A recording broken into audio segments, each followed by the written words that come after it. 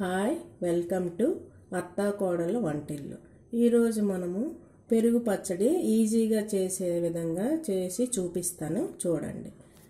అన్ని విధాలా బాగుంటుంది. పెరుగు పచ్చడి బాగానే ఉంటుంది. దానికోసం కావలసిన వస్తువులు.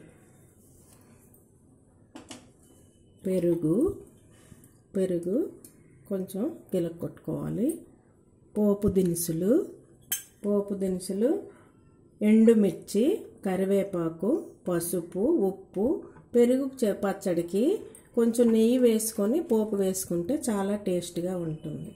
ఇప్పుడు మనం పెరుగుని కొంచెం గిలక్కొడదాం. మనం గెలక్కొడదాం. ఇలా అయితే బాగుంటుంది. లేకపోతే ముక్క ముక్కలుగా ముక్క ముక్కలుగా ఉంటుంది. అందుకని బాగా మ్యాచ్ చేసుకోవాలి. ఇలా గిలక్ కొట్టుకోవాలి.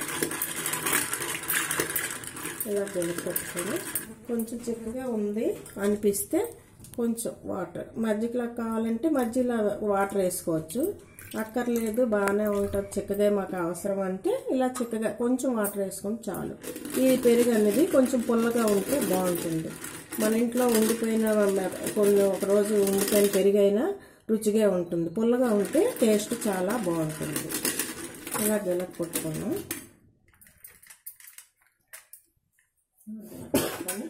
ఇప్పుడు స్టవ్ వెలిగించుకొని పోపు వేద్దాం ఇప్పుడు.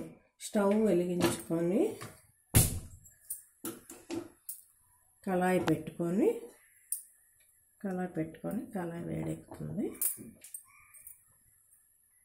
కళాయి వేడెక్కిన తర్వాత ఒక స్పూను నెయ్యి వేద్దాం. నేతితోటి పెరుగుపోపు వేసుకుంటే చాలా రుచిగా ఉంటుంది. బాగుంటుంది. పెరుగుపోపు వల్ల చాలామంది పెరుగుని ఇష్టపడరు. కొంతమంది పిల్లలు కానీ పెద్దవాళ్ళు కానీ ఇర ఇష్టపడిన వాళ్ళకి ఇలా మనం పోపు వేసామనుకోండి టేస్ట్ వేరేగా ఉంటుంది బాగానే ఉందని వాళ్ళు కూడా తినడానికి ఇష్టపడతారు.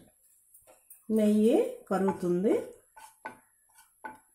వేడెక్కిన తర్వాత పోపు దినుసులు ఆవాలు ఒక హాఫ్ స్పూను జీలకర్ర స్పూన్ ఆవాలు కొంచెం పావు టీ స్పూన్ చిటికెళ్ళలాగా మెంతులు వేసుకోవాలి. ఆ స్మెల్కి పెరుగు చట్నీ చాలా టేస్ట్గా ఉంటుంది. పోపు దినుసులు వేద్దాము. ఆవాలు జీలకర్ర మెంతులు. ఇవి వేగుతున్నాయి. ఆవాలు చిట్టుపట్లు ఆడుతున్నాయి కాబట్టి ఇప్పుడు మనం ఎండుమిర్చి నాలుగు ఎండుమిర్చి ఆ పెరుగుకి నేను నాలుగు ఎండుమిర్చి తీసుకున్నాను. నాలుగు ఇలా తీసుకుని ఎండుమిర్చి పోపు చాలా టేస్ట్గా ఉంటుంది. నేను ఇప్పుడు పచ్చిమిర్చి వాడట్లేదు. ఇలా చిట్టపట వేసుకున్నప్పుడే మనం కరివేపాకు రెబ్బలు వేయాలి.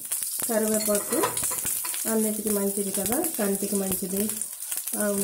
కాల్షియం ఉంటుంది ఐరన్ ఉంటుంది మనలో ఏ విటమిన్ కూడా ఉంటుంది. గ్రీన్ అన్నిట్లో కూడా ఏ విటమిన్ అన్నీ ఉంటాయి. ఇలా పోపు వేయాలి. ఈ పెరుగు చట్నీ చేసుకోవడం చాలా చాలా తేలిక. సింపుల్గా చేసుకోవచ్చు. చూసారా? మన పెరుగు పోపు తయారైపోయింది. ఇప్పుడు కొంచెం చిటికెడు పసుపు వేసుకోవాలి. పసుపు వేసుకొని మనం స్టవ్ని ఆఫ్ చేయాలి. ఈలోపు ఈ పోపు మనకి చల్లారుతుంది. స్టవ్ ఆఫ్ చేసాం కదా. ఈ పోపు చల్లారుతుంది. ఇప్పుడు మనం పెరుగులో తగినంత సాల్ట్ టేస్ట్కి తగినంత వేసుకోవాలి.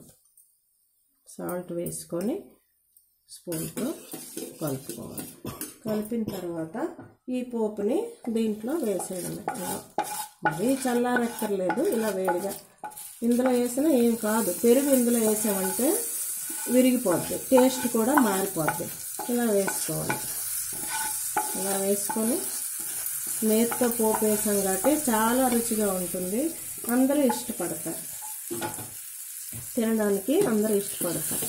ఇలా కలుపుకొని ఇలా చూసుకుంటే ఈ పెరుగు చట్నీని మీరు తయారు చేసి చూడండి. టేస్ట్ చూస్తే మీకు తెలుస్తుంది. పసుపు ఇంకా కొంచెం కలర్ కావాలి అనుకుంటే వేసుకోవచ్చు. పసుపు కూడా మంచిదే కదా. యాంటీబయాటిక్ పసుపు ఇప్పుడు ఈ శీతాకాలం జలుబులు ఇవి అవి చేస్తాయంటే ఈ పెరుగులో పసుపు వేసుకొని తినడం వల్ల తినాలనిపిస్తుంది. పసుపు టేస్ట్ బయటికి రాదు. దానివల్ల పసుపు కూడా ఎక్కువ వాడడం అవుతుంది. ఈ పెరుగు చట్నీ మీరు కూడా తయారు చేసుకొని రుచి నచ్చినట్లయితే సబ్స్క్రైబ్ చేయండి. లైక్ కొట్టండి. అందరికీ షేర్ చేయండి. Thank you